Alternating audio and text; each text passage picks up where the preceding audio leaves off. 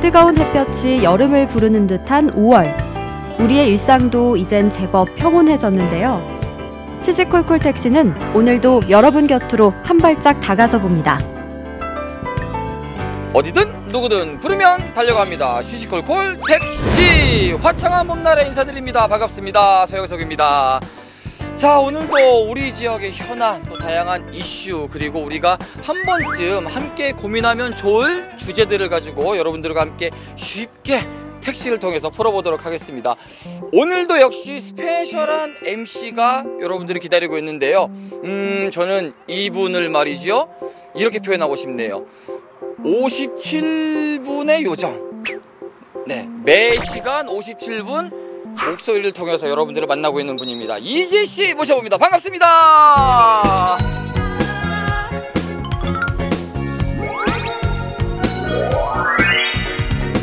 포항 MBC 57분 교통정보. 반갑습니다.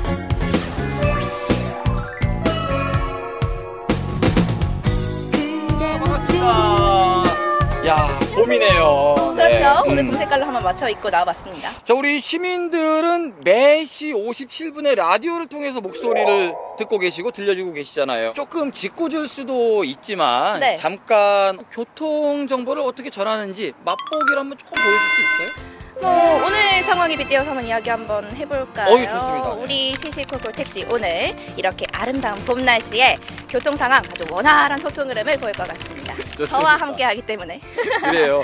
자, 아무래도 뭐 라디오를 통해서 목소리를 많이 들었고 네. 하지만 또 오늘 우리 시민들의 관심 분야에 대한 이야기들을 해야 돼요. 그렇죠. 오늘 어떤 각오로 왔는지 궁금하거든요. 오늘요 아무래도 이제 교통 캐스터이기도 하고 또 시시콜콜 택시의 스페셜 MC로 나오기도 했으니까 좀 시원 하게 오늘 한번 이야기를 뚫어볼 수 있도록 최선을 다하도록 하겠습니다. 오늘의 주제가 조금 더 원활하고 시원했으면 좋겠습니다. 오늘의 주제 어떤 걸까요? 오늘은요 얼마 전에 치렀던 4.15 총선에 음. 대해서 한번 이야기를 해보려고 하는데요 우리는 왜 또다시 보수를 선택하는가 라는 질문으로 한번 이야기 손님 모셔보고 말씀 나눠보도록 하겠습니다 맞습니다. 보수를 선택했던 것도 우리의 역할이었고 우리의 그렇죠. 민심이었어요. 근데 맞아요. 우리는 왜 그동안 보수만을 또 택했는가에 대한 질문을 함께 나눠보면 좋은 해답이 되지 않을까 싶어서 오늘 이 자리를 만들어 봤습니다. 여러분 함께 주의 깊게 이야기를 들어보시면 좋을 것 같습니다. 네. 준비됐습니까? 준비됐습니다 오늘 교통 상황 괜찮습니까? 원활합니다 저만 믿고 가세요 알겠습니다. 신나게 출발하겠습니다. 네. 어디든 누구든 부르면 달려갑니다. 시스콜 택시 출발합니다. 시시콜콜 택시가 주목한 시선. 오늘의 주제는요. 제21대 국회의원 선거 결과를 토대로 우리 지역의 민심을 들여다볼까 하는데요. 전국적으로는 180석의 거대 여당이 탄생했지만 우리 지역에선 다시 한번 보수 정당에게 힘을 실어줬습니다. 우리는 왜 이번에도 보수를 선택했을까요? 포항 시민의 선택. 이제부터 차근차근 살펴보려고 합니다. 자 오늘의 이야기 손님을 만나기 위해서 찾아온 곳. 포항을 또 대표하는 상징하는 곳 중에 하나예요. 영일대 해수욕장으로 나와 있는데 코로나 국면도 좀 진정이 됐나 봐요. 역시 많은 분들이 또 산책도 하시고 나들이도 즐기시고 계시고 그러네요. 무엇보다 오늘 날씨가 참 좋네요 그러니까 오늘 봄바람이 살랑 부는 게 기분이 굉장히 좋습니다 맞아요. 총선 이후에 우리 지역에도 이런 봄바람처럼 좀 따뜻한 바람이 불었으면 좋겠다 생각하시는 분들이 많으실 것 같아요. 맞습니다. 오늘 주제가 우리들 삶에 대한 이야기들이잖아요. 이야기 손님을 모셔봐야겠죠. 모셔봐야겠죠 바로 임재현 기자님입니다 어서 오세요. 반갑습니다.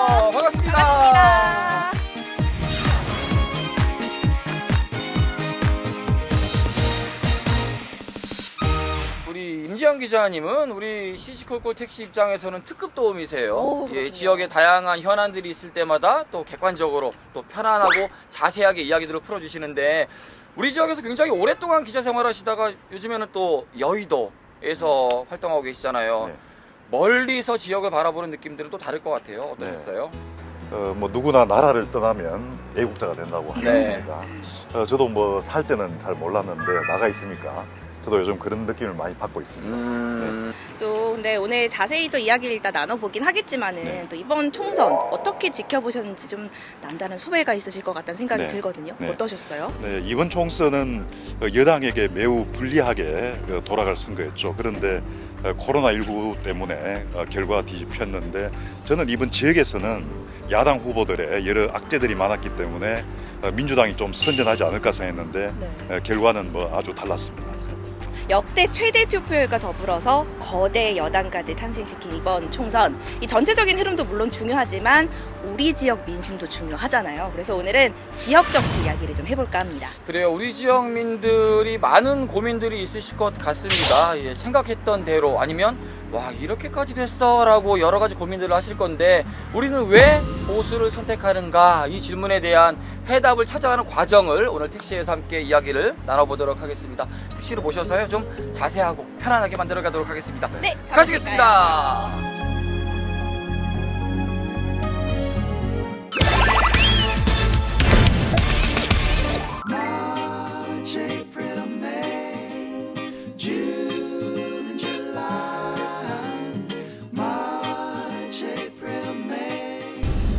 이번에 21대 총선 결과를 두고 네, 분석들도 많고 네. 말들도 굉장히 많아요. 그렇죠. 특히 우리 지역 같은 경우는 더불어민주당이 좀 선전할 것이다라는 예상도 있었지만 결국에는 뭐 한석도 얻지 못했고 그래서 이게 좀 지역색이 강해지는 거 아니냐 더욱더 고립되는 거 아니냐 어, 뭔가 예전에 충청도 이런 얘기들이 나올 때마다 많이 걱정도 되지만 한편으로는 시민으로서 속이 상하거든요 어떻게 보고 계신 건가요? 네. 이번 총선은 저는 여당에게 어, 매우 불리하게 될 뻔한 선거였는데 아주 놀라운 그냥 선거 개- 결과였죠. 네. 예, 예상을 훨씬 뛰어넘는 어, 전국적인 결과도 그렇고 대구 영북도 그렇고 그 결과로 참 우려되는 것은 네. 이렇게 하다가 대구 영북이 이저 한국의 어떤 정치적 섬이 돼서 앞으로 어떤 각종 지역 발전 정책에 의해서도 피해를 받고 또 어떤 국민 전체적인 시각에서도 대우 경북은 정말 이상한 사람들이다 어떤 그런 좀 어떤 낙인이 찍히지 않는가 어, 거기에 대해서 굉장히 우려스럽게 봤습니다. 또 한 개는 이 지역에도 정말 뛰어난 정치 엘리트들이 어, 민주당에도 많은데 어, 이런 사람들이 연거푸 계속 여기서 어떤 낙선을 하니까 어떤 더 이상 제2기의 그 꿈을 접고 오히려 수도권으로 어떤 다른 분야로 나가거나 어떤 공공기관으로 가는 게 아니냐 어떤 그런 좀 안타까운 마음들이 많이 들었습니다. 근데 이야기를 좀 들어보니까 음. 외부에서 그러니까 우리 지역이 아닌 타 지역에서 우리 지역을 바라보는 시각 중에 좀 부정적인 시각을 갖고 있다라는 생각이 들었던 이유가 뭐 이런 말도 들었거든요. 음? 막 꼴통 보수다. 아유 뭐 TK 이래서 안 된다. 음. 뭐 아니면 진짜 진짜 심한 경우는 경상도 일본어로 편입해라. 뭐 이런 말까지도 들리더라고요. 음. 그래서 깜짝 놀랐던 속상하죠. 네, 그런 기억이 있는데 이렇게까지 이야기가 계속 들리는 이유가 있을까요? 일단 이렇게 몰표가 나왔다는 것도 뭐 민심은 민심이기 때- 때문에 예, 그거를 무조건 비난할 수는 없는 건데 문제는 우리가 과연 어떤 외부의 시선을 우리 스스로에게 냉정하게 객관적으로 뭐, 그 맞춰볼 수 있는가 그게 중요하다고 생각하거든요. 뭐냐 하면 전에 검사외전이라는 영화가 있었죠. 네. 네. 예, 거기 보면 검사 출신의 후보가 국회의원으로 나와서 그거를 정말 실명 그대로 포항의 딸 아들 이렇게 나왔거든요. 아 맞다 그 영화 속에서 국회의원 지역구가 포항이었어요 예, 뭐 예. 구룡포에서 막 선거 유세도? 하고 강동원만 맞구나 네, 사실 그래가지고 몰랐네. 예 포항의 아들 우종길이 여기 계신 어르신들께 제 오늘 큰 절 한번 올리겠습니다.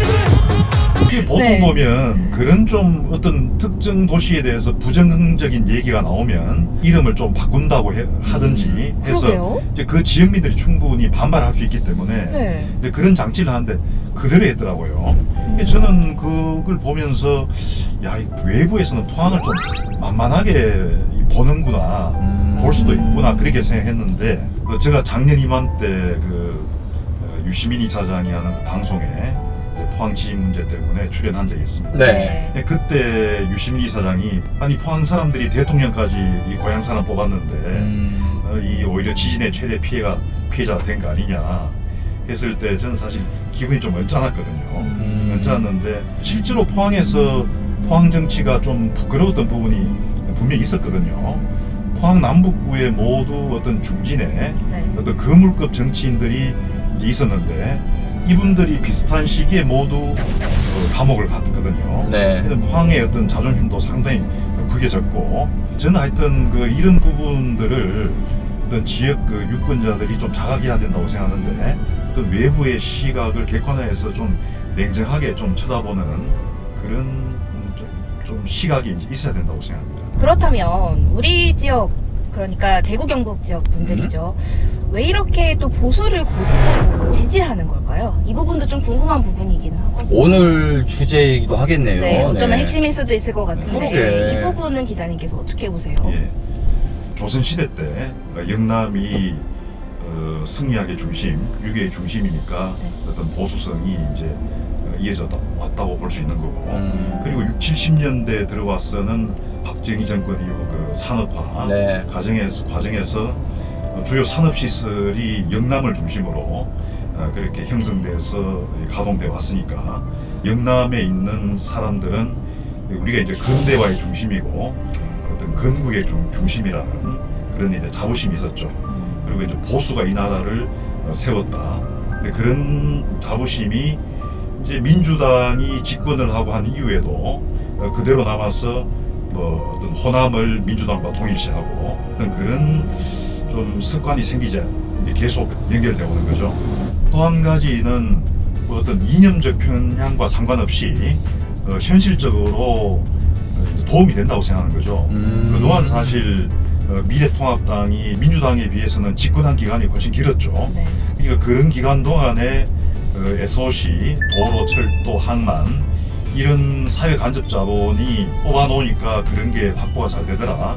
했으니까 지금도 현실적인 계산으로 어, 지금 미래통합당 후보를 대구 경북에서 찍어주는 그런 결과가 있는 것입니다. 음, 오늘 주제가 우리는 왜 보수를 지지하는가, 네. 선택하는가. 반대로도 물어볼 수 있을 것 같은 거예요. 그러면 왜 우리는 진보도 지지해야 되고, 왜 진보에 대해서 관심을 가져야 하는가? 이에 대한 견해도 있지 싶거든요. 네.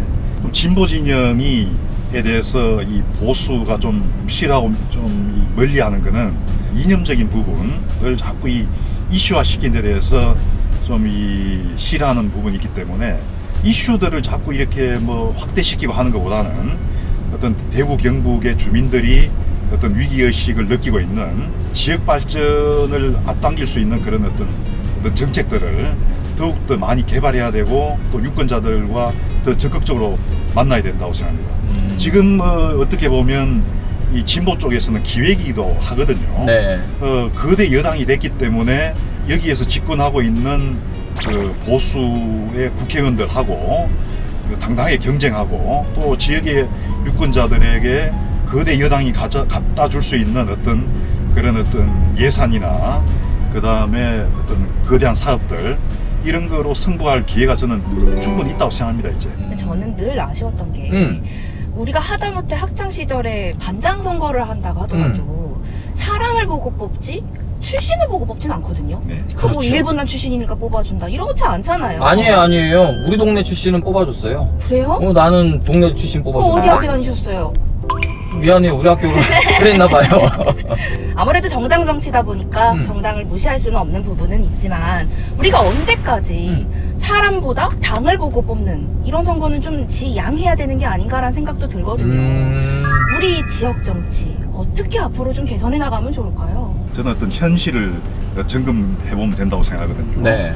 미래통합당은 사실 여당이든 야당이든 그동안 대구 경북에서는 정말 집권 당일 때도 과연 열심히 했는가? 음, 예, 유권자들을 두려워, 두려워하면서 어, 열심히 했는가를 어, 자문해봐야 될 것이고요. 또 여당에서는 어, 과연 그동안 어떤 지역의 보수세를 어, 생각해서 너무 지역에서는 좀 경쟁해 볼 만한 어떤 그런 좀 시도조차 하지 않고 너무 소극적으로 대응하지 않았는가 그런 생각을 합니다. 어, 저는 지방의원에 대한 어, 정당 공천제도 빨리 심각하게 좀 개선해야 되지 않느냐 네. 그렇게 생각합니다. 왜냐하면 이 총선을 하면 이 가장 사실 강력한 운동원들이 이 지방의원들이거든요. 그러니까 어떤 지방선거의 결과가 기초의원들, 광역의원들을 뽑은 어떤 그 결과가 총선에도 또 어, 대우 경북에서는 많이 연결되고 하니까 어떤 정당 공천제를 빨리 폐지해야 된다고 저는 생각합니다. 음, 당력이 그쪽에서 모아지면서 국회의원 선출까지 이어지는 경우들이 많기 때문에 네. 네. 총선 이후에 아마 많은 시민들이 변화의 바람이 불었으면 좋겠다 생각을 하실 건데 네. 사실 우리 시민들 입장에서 변화의 바람은 뭐 진보의 바람도 보수의 바람도 아니잖아요. 우리 삶이 좋아지는 봄바람이고 따뜻한 바람이기를 바라는 거잖아요. 맞아요. 그런 바람들이 우리 지역에 훈훈하게 오랫동안 좀 펼쳤으면 좋겠다는 생각을 다시 한번 해보고요. 진짜 그- 이 선거철만이 아니라 음. 좀 크게 야심차게 품 포부가 좀 끝까지 나아갔으면 좋겠는 우리를 대신해서 일해주는 일꾼을 뽑는 자리잖아요. 음, 맞아요. 그만큼 좀 약속을 꼭 지켜주실 수 있었으면 좋겠습니다. 더불어서 우리 기자님께서는 시시고고 택시의 특급 도움, 도우미이시자 명예 도우미십니다. 앞으로도 꾸준하게 우리 지역 현안에 대해서 예, 관심 가져주시고 저희가 또 모시면은 언제든지 달려주시기를 부탁드리겠습니다. 부탁드리겠습니다. 네. 고맙습니다. 말씀 잘 들었습니다. 감사합니다.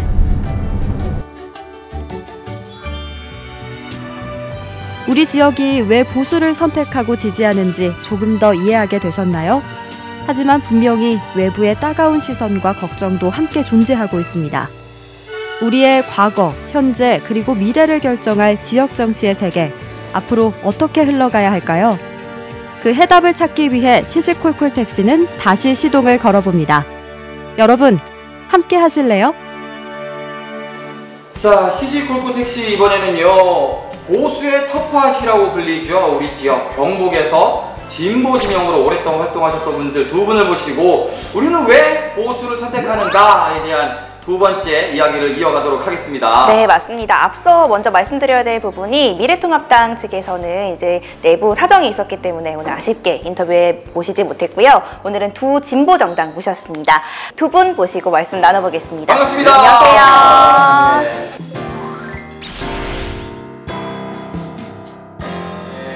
반갑습니다. 아니 이렇게 물론 정치권이라고 불리는 이 서슬퍼런 곳에서 오랫동안 활동하셨던 분들이 카메라 앞에서는 왜 떠세요?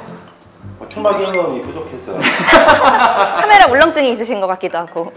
이거 사실 오늘은 저희가 뭐 진보 진영에 대해서 편을 들려는 것도 아니에요. 다만 이분들이 우리의 보수의 텃밭이라고 불리는 경북에서 어떤 삶을 살고 어떤 이야기들을 시민들에게 하고 싶은지 좀 허심탄회한 이야기를 들어보는 시간을 가졌으면 좋겠어요. 먼저 총선이 끝났습니다.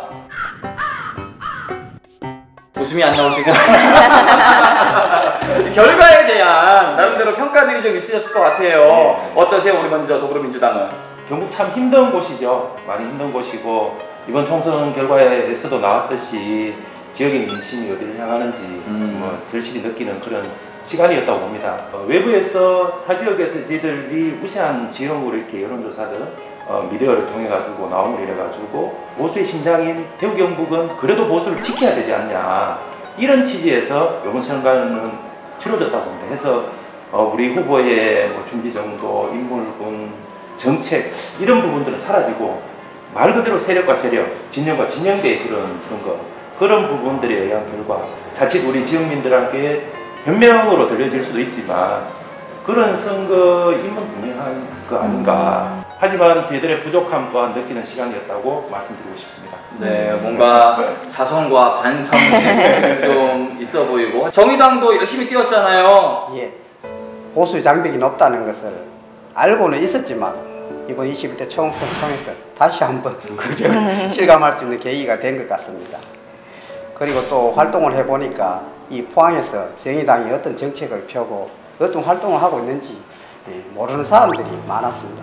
그런 부분에 있어서는 앞으로도 우리 포항시당이 열심히 활동을 해서 알려나가야 할 부분이라고 생각합니다. 네, 두 분의 말씀을 들으니까 이심전심이라는 말이 왜 있는지 알 것도 같아요. 네. 사실 보수색이 강하다라는 거는 뭐 너무나 장명한 네. 일이에요. 근데 그 힘이 어디서 나오느냐에 대한 질문에 대한 답들은 아마 많은 분들이 좀 다르게 가지고도 있을 것 같거든요. 네. 어떻게들 생각하고 계신지 모르겠어요. 물론 우리 지역이 굉장히 좀 공고한 그런 보수의 네. 힘을 세력들을 가지고 있습니다. 네. 그리고는 지방자치제 이후에 어, 각 지역 단체장 또 지방의원들이 일반 일색으로 그렇게 구성이 되었고 그럼 자연적 지역의 정치 지형이 계속 그렇게 굳어질 수밖에 없는 음. 상황으로 계속 왔다고 봅니다. 그 이런 표현들이 있지 않습니까? 아, 미래통합당 그 보수 진영은 선거 전문가다. 네. 선거를 정말 열심히 준비하는 것 같습니다.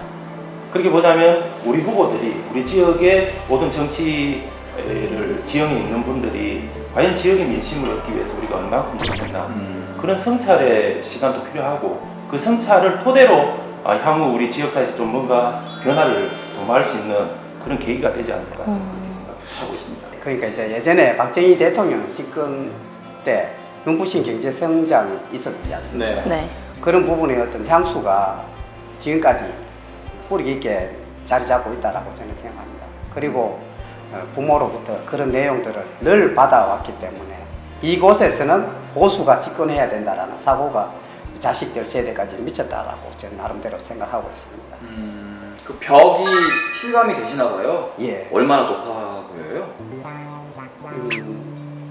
대답이 됐습니다.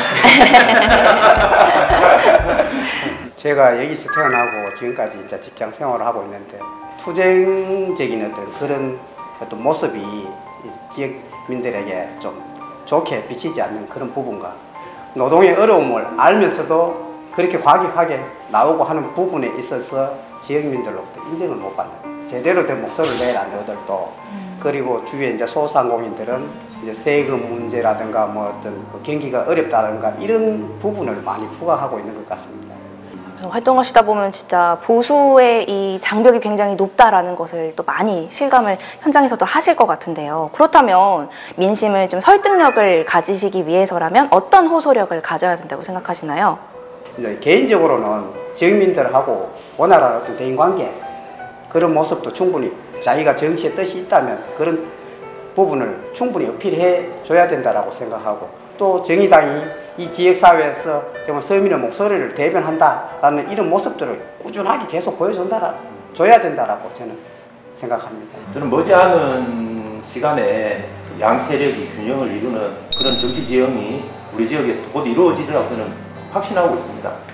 저희 입으로 또 우리 진영에서 경북이 대구 경북이 보수의 텃밭, 보수의 심장 뭐 이런 표현을 쓰고 싶지 않습니다. 네. 그런 부분들은 오히려 어, 현재 상황을 더 고착화시키려고 하는 우리도 그 프레임 안에 갇히는 모습이 아닐까 하는 생각을 우선 드리고 어, 유권자들이 또 지역민들이 봤을 때 저희들이 부족함이 있었기 때문에 일단은 그렇다고 보고요.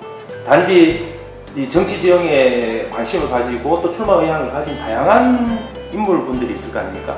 그 부분들을 실질적으로는 지금까지 한 정당이 다 흡수를 해버린 거죠. 어떤 정치적 지향점 또 지역에 대한 고민 이런 깊은 생각보다는 아, 우선 저 당을 선택하면 당선이 수월하니까 이런 쪽에서 선택했는 부분들이 크지 않나 그런 정치적 지향점 또 지역사회에 대한 고민 이런 것이 굉장히 급히면서도 어, 우리가 또 유권자들이 봤을 때 좀 부족한 인물로 부족한 정책으로 부족한 정치 세력으로 비춰졌을 수도 있다고 봅니다. 그래서 많이 좀 어, 바꿔나가려고 하고 있고 그런 과정 속에 있는 현재 시점으로 저는 말씀드리고 싶고 어쨌거나 어, 다음 음, 선거에서는 당선이라는 그런 결과물들을 도출해낼 수 있는 어, 정당이 될 수 있다고 저는 확신하고 그렇게 지역민들에게 말씀드리고 싶습니다. 또 한편으로 궁금한 부분이 이 보수의 중심이라고 하는 이 경북 지역에서 진보 정당을 하는 데 있어서 좀 에피소드가 좀 있을 것 같다는 생각도 들거든요. 어떠셨어요? 좀 겪어보신 것 중에서 기억에 남으신 부분이 있는지 궁금하거든요. 포항에서 인지도가 낮기 때문에 왜 그런 당을 지지하고 활동을 하느냐라는 그런 소리를 많이 들었습니다. 예전에는 이제 투쟁 노선이라든가 이런 부분이 너무 부각되다 보니까 사람들한테 얘기하면 정의당 이러면 좀 좋지 않은 시선으로 많이 와왔는데 그 부분은 정의당이 그렇지 않다라는 모습들을 보여주고 싶었고 또 현수막 하나라도 용어 자체도 좀 변경해야 되지 않나라는 어떤 그런 부분을 많이 어필했습니다. 그래서 좀 많이 그런 분위기를 많이 개선한 것 같습니다. 그렇군요. 더불어민주당은 어떠세요? 현장에서 현실 정치에서 이렇게 몸담고 뛰는 것에서 어려움도 있겠지만 지역의 그런 정치적 지향점을 가지신 분들이 지역에서 자기 정치적 의사를 제대로 표현하지 못하는 지역의 정서 이 부분이 가장 좀 아쉽다고 생각하고요. 심지어 제가 제일 뼈저리게 느꼈던 거는 지역위원회 개편대회를 내일 해야 되는데 일주일 전에 예약이 돼 있던 그 대관 장소가 하루 전날 밤에 연락이 와서 도저히 빌려줄 수 없다. 이런 현실들이 있었습니다. 물론 이게 좀 시간이 지나는 이야기지만 정당한 정치 활동의 모습들인데 그것이 좀 지역사회 분위기가 뒷받침되지 않았던 그런 아쉬운 점들이 있습니다. 근데 그것 또한 마음껏 표현할 수 있도록 만드는 그런 대구 경북을 만드는 것이 우리 정당 활동하는 사람들의 또, 또 하나의 몫이 아닐까 네, 두 분 말씀 들어보니까 사실 공약이라는 게요. 이게 당선이 되지 않으면 빛을 보기가 어렵잖아요. 그렇다 하더라도 낙선이 된 후보자들을 공약들 중에서도 정말 아까운 부분들도 분명 있거든요. 우리 당에서 준비한 공약 중에 이것만큼은 좀 시청자분들께서 기억을 해주셨으면 좋겠다 싶은 것들 혹시 있으실까요? 저희 당에서는 공공의료 확충으로 포항의료원에 지금 시설이 좀 낙후된 걸로 알고 있습니다.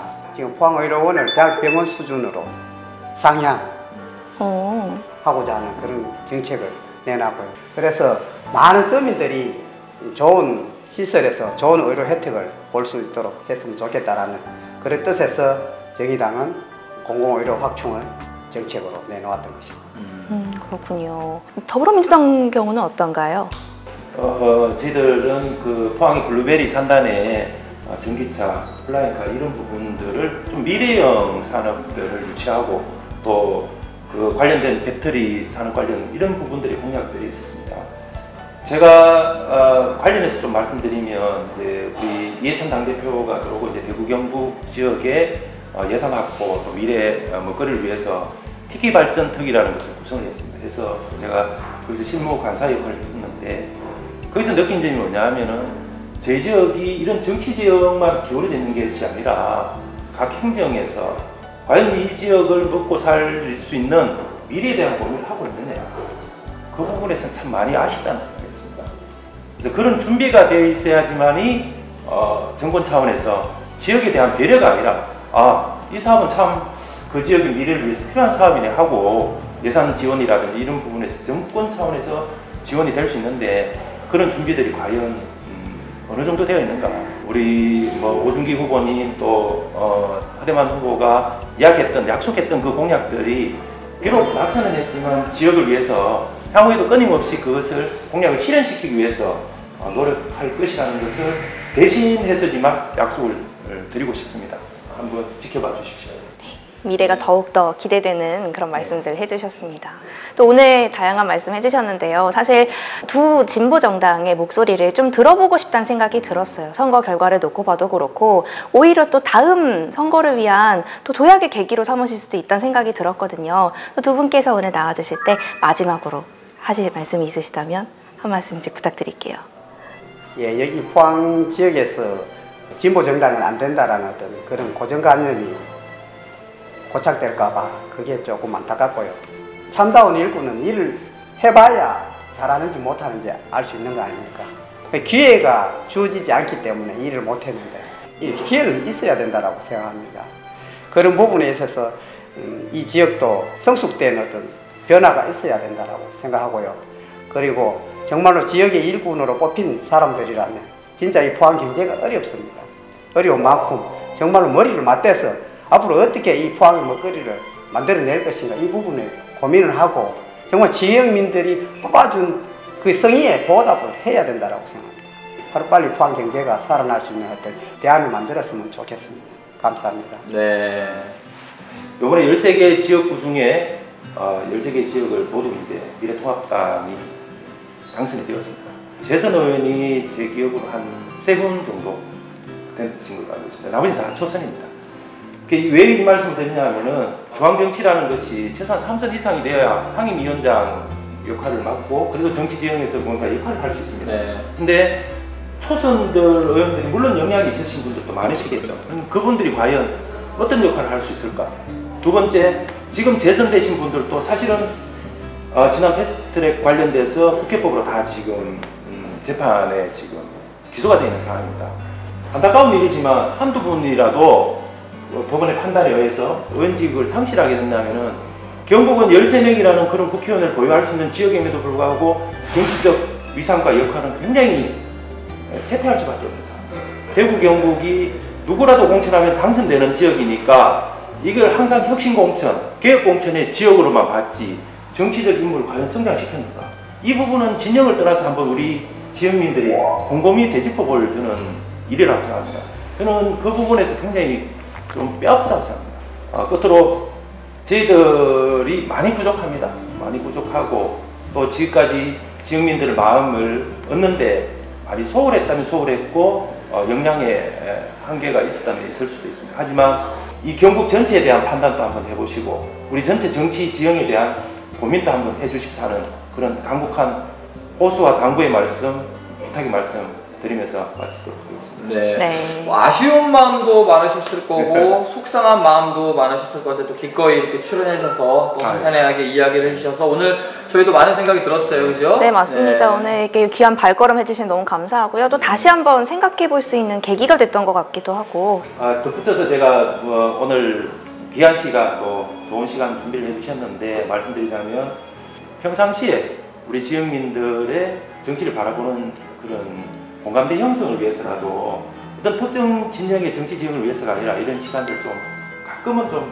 만들어 주셨으면 하는 그런 부탁의 말씀 좀 드리고 싶습니다. 평소에 하고 싶은 이야기들을 좀 예. 툭 터놓고 하고 싶다는 목마름이 있으셨던 것 같아요, 두분 예, 다. 예, 맞습니다. 예, 맞습니다. 뭐 보수 진보에 대한 고민도 필요하겠지만 네. 어떤 정치가 우리의 삶을 조금 더 네. 평화롭고 윤택하게 만들 것인가에 대한 고민은 같이 한번 해보면 어떨까라는 생각이 오늘 이야기를 나누니까 드네요. 네, 두 분 앞으로도 좀 열심히 활동해 주시고요. 당을 위해서도 있지만 우리 시민들을 위해서 열심히 뛰어주시기 아, 바라겠습니다. 물론입니다. 네, 네. 말씀 잘 들었습니다. 감사합니다. 고맙습니다.